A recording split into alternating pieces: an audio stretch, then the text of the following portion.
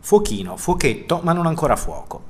L'ultima scoperta del cacciatore di pianeti Kepler, appena annunciata sulla rivista Science, riguarda i pianeti più simili alla Terra scoperti finora.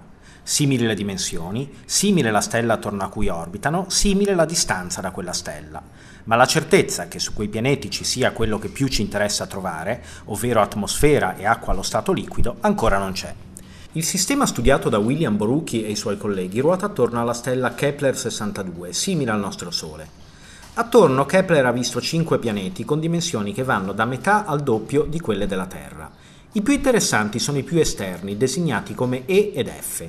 Il primo è ai limiti della cosiddetta zona abitabile, dove la radiazione proveniente dalla stella basta a consentire la vita, ma è abbastanza bassa da consentire anche acqua allo stato liquido.